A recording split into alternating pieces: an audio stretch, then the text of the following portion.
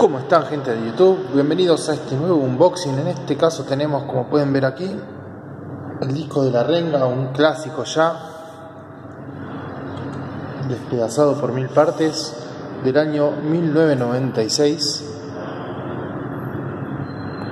Este es a mi gusto el mejor disco de la renga, repito, a mi gusto, pero sacando esta parte de la tapa es el peor para mí en arte gráfico ya que le erraron mucho al tema de los colores de fondo, los colores de las letras con el fondo, pero que la tapa es genial, la tapa es genial, acá tenemos empezó por partes, como todos ustedes saben, se puede ver así que tenemos un ángel, o se puede así, ver así que tenemos un demonio, una especie de demonio. Es una tapa con doble sentido. ¿Sí? Recordemos que estamos hablando del año 1996. Este disco trae... Vamos a abrirlo. Si se alcanza a ver ahí. Tenemos el CD.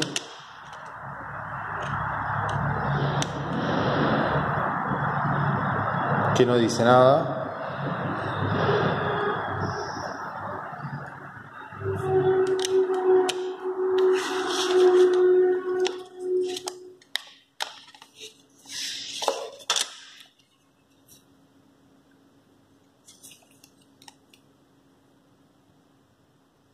La dedicación para María Bernardi, los mismos de siempre. Bueno, discúlpeme la interrupción.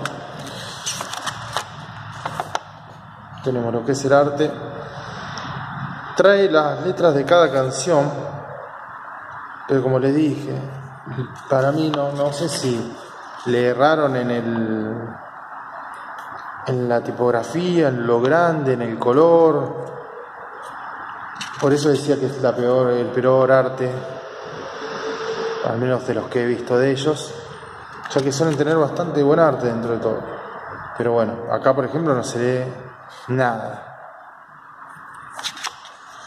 No sé si está hecho a propósito o no.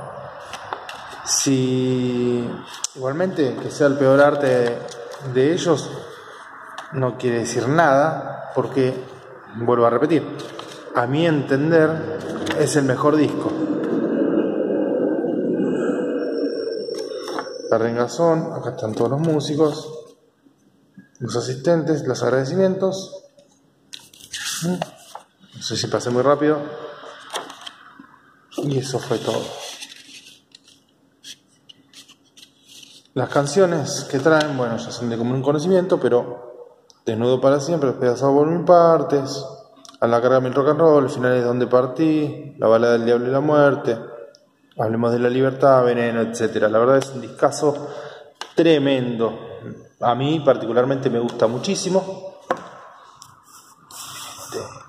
Y reitero, si bien el arte no acompaña, quizá, sacando la portada, para mí es uno de los mejores discos de la renta. Bueno, eso fue la renga despedazada por mi parte. Espero que les haya gustado este unboxing.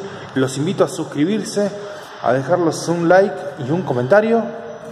Compartirlo con tus amigos, ya que la movida, como digo siempre, la hacemos entre todos. Un gran abrazo y nos estamos viendo en el próximo unboxing. No olvides suscribirte para muchísimo más. Hay entrevistas, hay varias cosas que te pueden interesar. Nos vemos en la próxima.